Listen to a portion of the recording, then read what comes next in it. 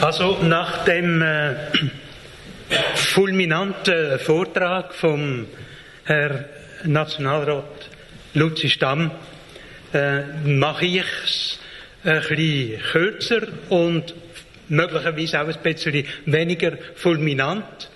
Was mir aber jetzt eigentlich klar geworden ist, ähm, oder noch eines klar geworden ist, äh, die Vollgeldinitiative, wenn ich sie kurz vorstelle, oder wie sie vorher im Video äh, vorgestellt worden ist, die spricht eigentlich nicht gegen Goldinitiativen.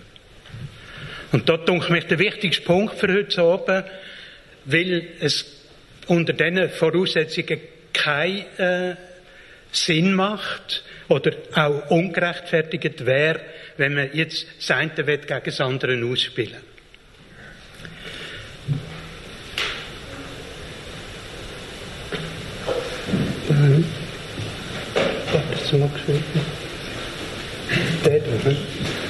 Ja, ist gut. Vollgeldreform, kurz zusammengefasst noch einmal. Es geht in vier Punkten gesagt um Schliessen von einer Gesetzeslücke, weil in der Bundesverfassung steht, Geld- und Währungswesen ist Sache des Bundes, sogenannte Geldregal. Und da sind aber unter dran, denn diesem allein steht das Recht zur Ausgabe von Münzen und äh, Banknoten zu. Da fehlt das Buchgeld oder Chiralgeld. Und der Begriff Chiralgeld oder Buchgeld müssen wir äh, in die Verfassung nehmen, um die äh, Gesetzeslücke zu schliessen, weil, wie Sie vorher gehört haben, der grösste Teil, 90 Prozent vom Geld ja gar nicht von der Nationalbank kommt, sondern von den privaten Banken geschaffen wird als Chiralgeld. Der zweite äh, Punkt mit der Vollgeldreform gibt es nur noch eine Art von Geld. Es ist auch nicht einzusehen, warum wir zwei verschiedene Arten von Geld brauchen. Eben einerseits Nationalbankgeld und andererseits Bankengeld. Es gibt kein fraktionales Reservesystem mehr, wie das so schön heißt. Es gibt keine multiple Geldschöpfung mehr, wenn wir die Vollgeldreform einführen. Dritter Punkt. Das Vollgeld wird schuld- und zinsfrei geschaffen.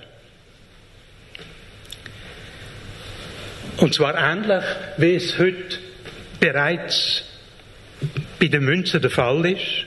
Münzen werden ebenfalls schuld- und zinsfrei geschaffen und werden der Nationalbank zur Verfügung gestellt. Es gibt nach der Vollgeldreform kein Bankenschuldgeld mehr. Das Merkmal vom Giralgeld ist, dass es eben als Schuld geschaffen wird, als Kredit in Umlauf kommt.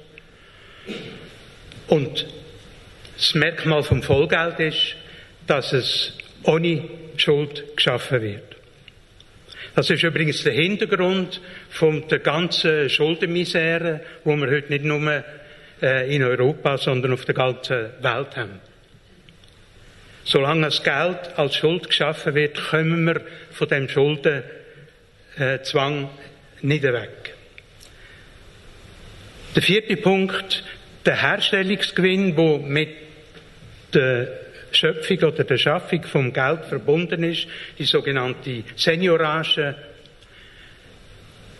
wird der Öffentlichkeit zur Verfügung gestellt. Steht allen und nicht nur wenigen Banken und Angehörigen, Bankaktionären zur Verfügung. Auszahlung erfolgt von dem äh, Vollgeld via Parlament, Bund oder Kanton oder auch neu direkt äh, zu den Bürgern in Form von einer Gutschrift. Sie sehen, das Programm unterscheidet sich fest vom, Voll, äh, vom, von der Goldinitiative, von dem, was die Goldinitiative wett. Die drei Punkte habe ich hier noch einmal äh, aufgeführt. Und doch werden die beiden Initiativen immer wieder miteinander in den Medien vorgestellt. Aber nur eines, es ist nicht so, dass das eine das andere würde ersetzen. Ähm, ein kleiner Beweis in unserem Verfassungsvorschlag, wo natürlich einiges umfassender ist als nur der Begriff Chiralgeld, wie ich vorhin gesagt habe, steht und haben wir auch mit Absicht den jetzigen Paragraph 99.3 stehen. Die Schweizerische Nationalbank bildet aus ihren Erträgen ausreichende Währungsreserven. Ein Teil dieser Reserven wird in Gold gehalten. Es steht jetzt allerdings kein Prozentzahl drin, aber der Passus haben wir drinnen gelassen, genau aus deren Überlegung, weil wir gefunden haben, das widerspricht unserer Intention, unserer Initiative nicht. Es gibt aber darüber hinaus natürlich noch Gemeinsamkeiten. Die echte Sorge um Schweizer Geld- und Währungswesen, wie es auch im Referat vom Herrn Stamm zum Ausdruck gekommen ist. Suche nach einem besseren Geld. Die ewig Aufblaserei von den Geldmengen müssen wir vermeiden, müssen wir abstellen.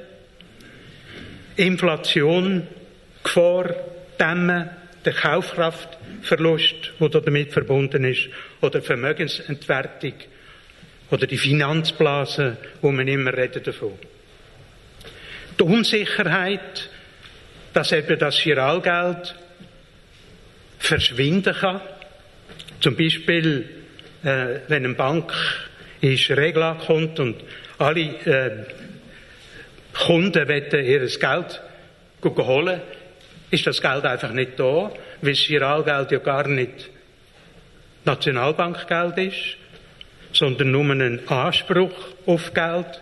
Und wenn man den Anspruch, alle Leute den Anspruch auf einmal einlösen oder auch nur einen gewissen Prozentsatz den Kunden auf einmal den Anspruch einlösen, ist das Geld gar nicht vorhanden.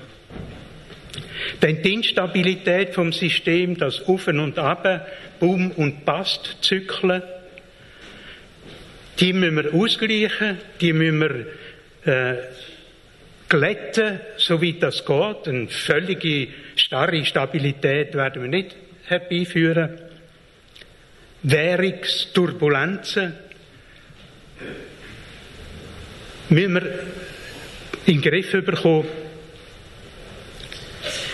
Ein weiteres Anliegen ist natürlich, dass wir die ewige Krise und Crash-Gefahren bannen.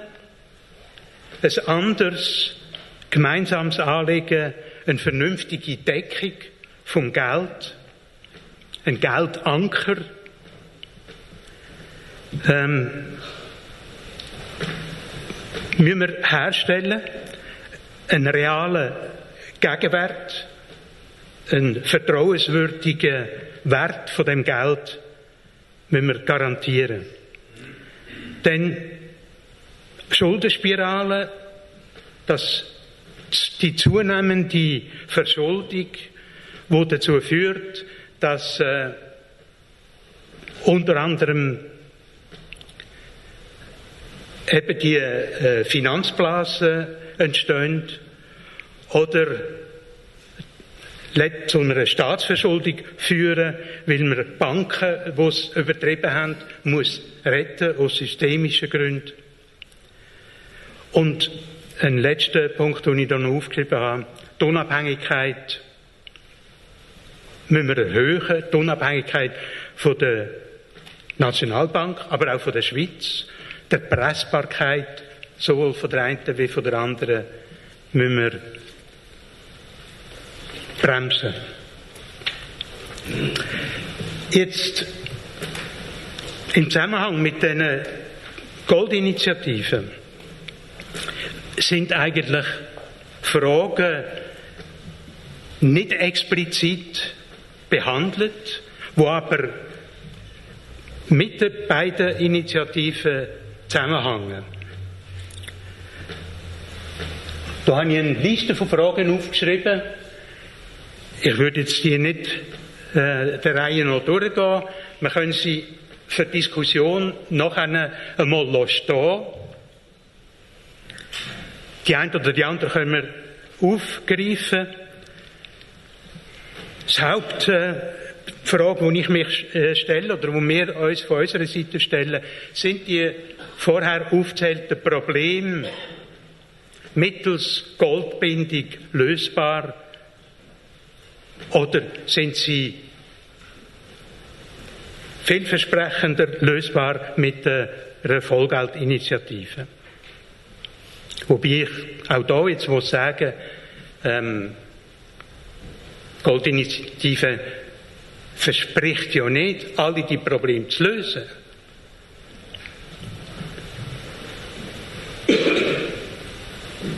Ich würde vorschlagen, dass wir jetzt äh, ins Podium übergehen und dann können wir, wenn wir wollen, die Fragen, die aufgreifen oder man kann sie auch äh, von Leuten aus dem Publikum stellen.